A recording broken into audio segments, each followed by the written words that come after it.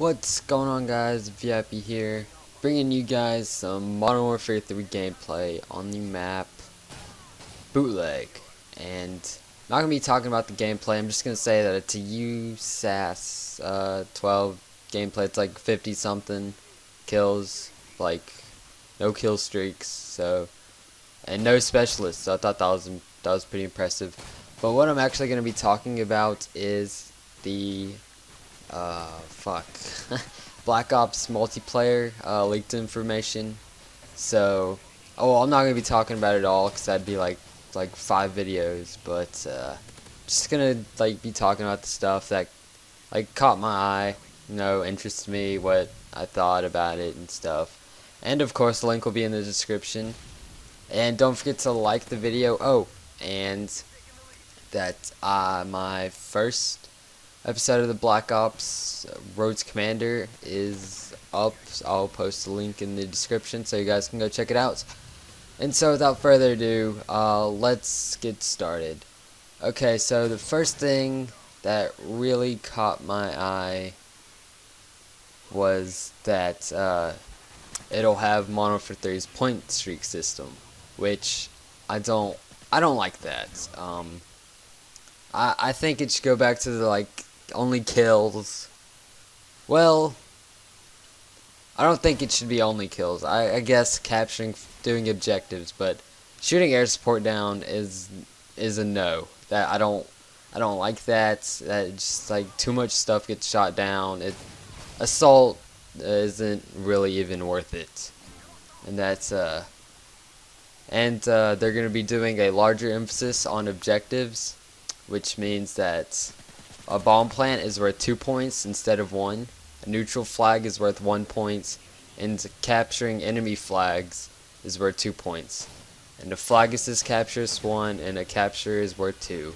Which I don't really know how that would work out. I mean, I guess... See, what I'm doing here is I'm capturing this flag. Which, would that give me 2?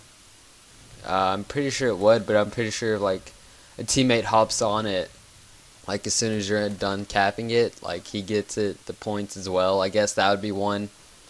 And uh, so another thing that's returning in Black Ops 2 is Specialist, and uh, it has been modified a little. Two kills one point, uh, one thing, uh, perk, uh, like always. But you don't get every perk uh, when you. I guess there's no Specialist bonus, like that you don't get every perk and you have to have him pro to become pro. Uh, don't really know how to word this. That um, you have to have the perks pro in order for them to be pro when you have them. I guess that was a specialist bonus thing because I didn't really know that they were pro when you just unlocked them regularly. But yeah. And so, no RCXD car. I I hated that thing so much. That thing really annoyed me. Um, a new heat vision thing. You, it's like a scope that you put on, and I guess you can shoot people through them. I, I through walls and stuff. I don't know. I guess, I guess it's kind of like a thermal scope. And yeah, so that's really all I wanted to talk about in the point streaks. Uh, the prestiges that there's going to be 15 prestiges returning, 50 ranks, and every two prestiges, there's going to be a 5 rank increase, which the final prestige level has 90 levels, which I think that's interesting. You know, it keeps it keeps you going, but I think that's going to turn a lot of people off from prestiging.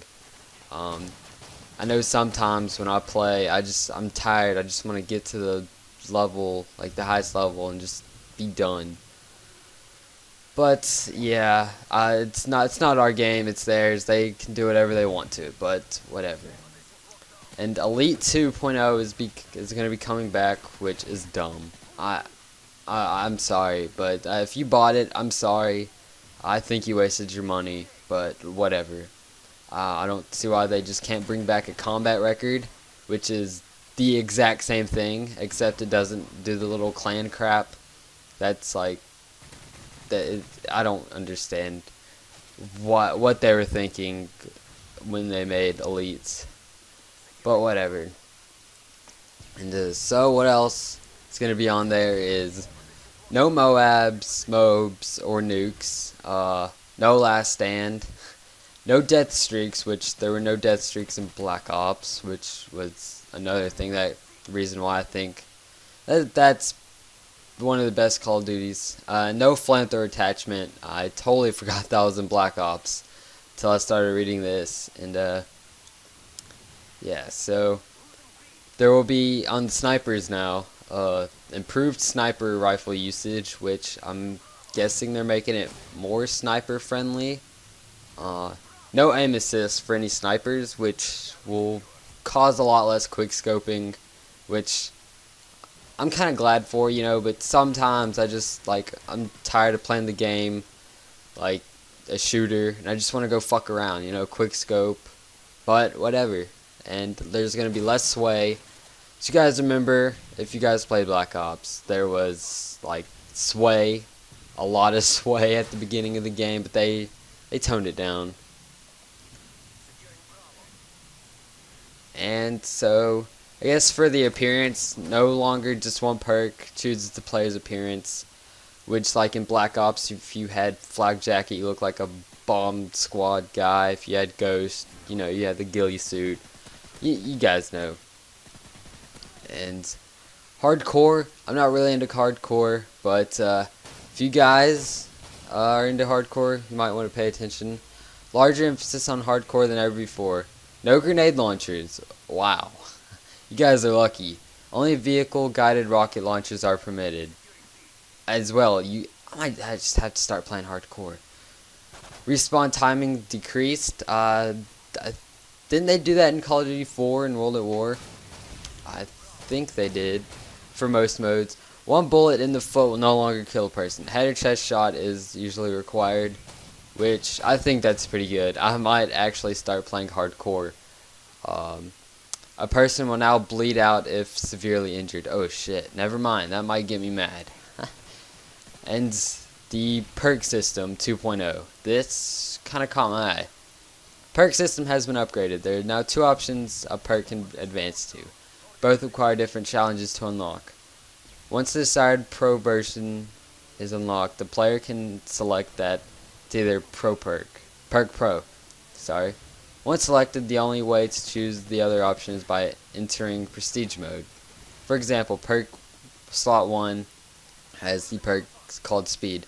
Speed reduces the time taken to aim down sight. Pro 1 swaps weapons faster. Pro 2 throws equipment faster. So I'm kind of wondering, can you only choose between either or? Is it just you know, you get one and, you know, you're left the other one, which I don't know how I feel about that. Uh, I mean, I guess it's cool, kind of keeps the game fresh, I guess you could say. Um, but I'll, I'll, what I want to know is if they're going to bring the, back the uh, COD point system. Like, I'm kind of either or about that. Like, I like earning my stuff. I like going out like for the go like, uh, going for the distance and getting like my stuff. It's challenging and it keeps the game new, sort of say. But then again, on sometimes I just like I just want that one attachment for that one gun. So I'm kind of controversial. I don't know if I said that right. You guys know what I mean uh, about uh, the uh, COD point system. And combat training will be returning. Uh, bots are going now have advanced AI systems. Difficulty will no longer be based on how long the bots take to start shooting. And yeah, that's it. I'm actually kind of glad they're bringing back uh, the combat training. That's the end of the game. This is the end of the commentary. Believe my final score is like 54, and this kill cam needs to hurry up so I can figure out how many deaths I had. It probably wasn't that much. I want to say 54 and 2, but that's wrong. Oh, 42 and 10. well, don't forget to like the video. Come check out my channel and see what other content I have. Peace, guys.